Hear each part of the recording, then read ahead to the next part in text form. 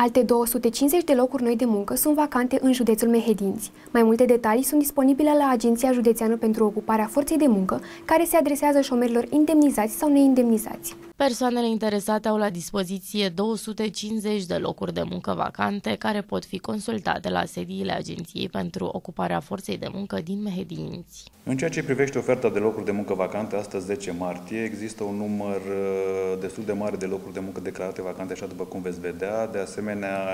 meseriile uh, aceste oferte de locuri de muncă sunt într-o paletă foarte diversă de meserii. Există și câteva locuri de muncă pentru persoanele cu studii superioare. Mai exact vorbim de un număr total de 250 de locuri de muncă declarate vacante, după cum urmează. Ajutor de bucătar un loc, agent de intervenție 1, asfaltator 1, asistent medical generalist 1,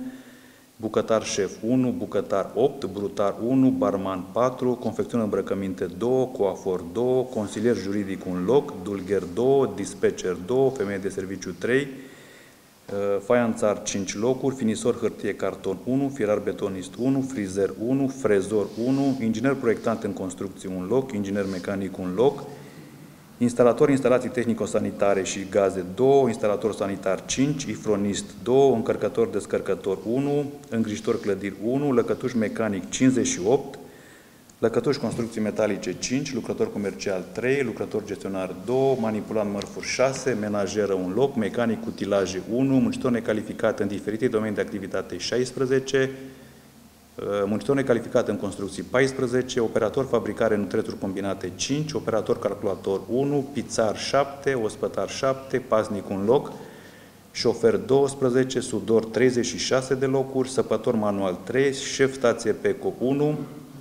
șef district un loc, tubulator naval 5, tractorist 4, zugrav un loc și 8 locuri pentru persoanele care au calificarea de zidar. De asemenea, în perioada ianuarie-februarie 2023, în urma serviciilor oferite de către cei de la Agenția pentru Ocuparea Forței de Muncă din Mehedinți, au fost încadrați în muncă un număr total de 283 de șomeri, totodată în intervalul 1 ianuarie-28 februarie 2023. Numărul total al persoanelor care au beneficiat de diverse servicii din partea AJOFM a fost de 1371.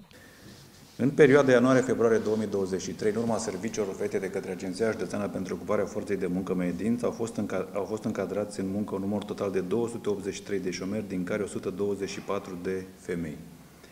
Avem mai multe uh, situații referitoare la diferite criterii ale persoanelor angajate până la data de 28 februarie, funcție de vârsta acestora,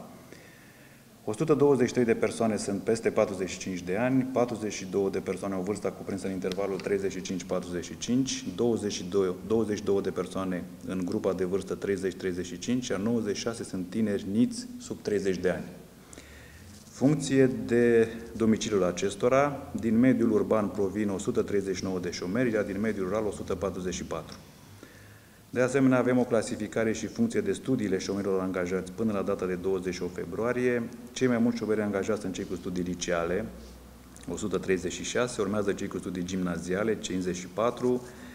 studii profesionale 42 de persoane, studii superioare 33, studii postliceale 12, iar cei mai puțini șomeri angajați sunt cei cu studii primare și anume 6 persoane.